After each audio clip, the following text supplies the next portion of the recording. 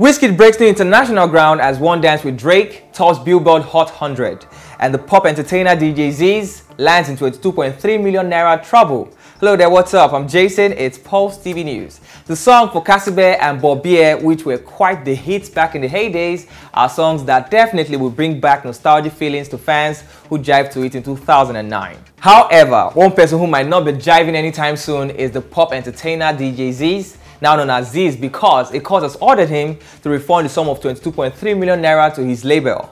Now, this was after HF Music dragged the singer to the court following his inability to meet up with the obligations as outlined in the contract. The main complaint has stated that the singer had refused to record music as stated in his record deal. According to the documents obtained by Pulse from the rep of the singer, presiding judge Honorable Justice B.A. Okelawal, in the case brought before the High Court of Lagos State, ordered that Zeez Real name Kingsley Lipo should refund the sum of 22,378,625 naira 70 kobo, being the total amount spent by HF Music through various advances made to and on his behalf from the commencement date of his contract with the label until the point where it was breached by him.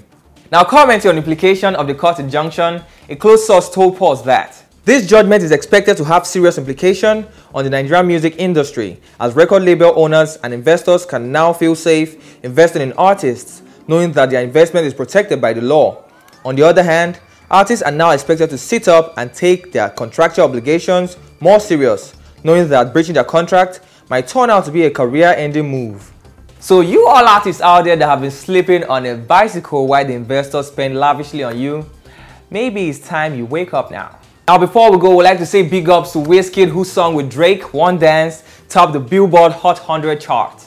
Now for those of you that don't know about it, the Billboard Hot 100 is the standard chart in the US for ranking the hottest songs of the week based on airplay, streaming, and sales on and offline. So even though a lot of people will complain that Wizkid's verse on the song was not exactly loud, heck, someone even said that Wizkid should have raised his voice on the song instead of at Linda Ikeji when they were having their whole social media brouhaha. But like it or not, Wizkid has topped, by association, the Billboard Hot 100. That's the Pulse TV News. Don't forget to subscribe and comment below. Follow us on all our social media platforms. Until next time, my name is Jason.